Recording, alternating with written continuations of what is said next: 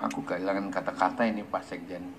Yang saya mau bilang pertama, penyuluh mau nggak kamu jadi pegawai langsung Kementerian Pertanian? Dan hari ini saya sudah mengatakan bahwa penyuluh di seluruh Indonesia adalah penyuluh yang langsung secara fungsional berada di Kementerian Pertanian. Catat baik-baik.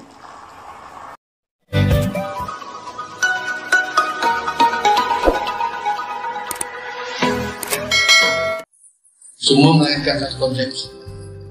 Minimal kamu membuat 100 hektar di setiap wilayahmu. 100 hektar.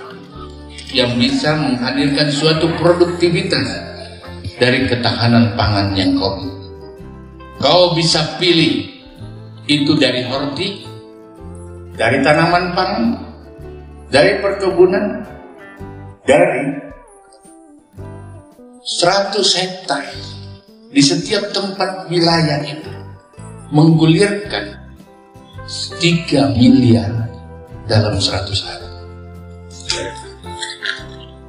Kaulah yang paling tahu apa yang harus dilakukan di wilayah.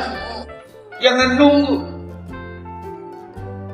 Dan kita sudah dekatkan dengan teknologi pemberian Tuhan yang luar Iya Bapak, tapi di mana modalnya? Pakai kur. Kenapa harus pakai modal dari kur, dari perbankan? Karena hasilnya ada. Untuk tanam jagung, saya pakai contoh jagung. Itu 5 juta, itu semua. Oke, kasih naik lagi 7 juta.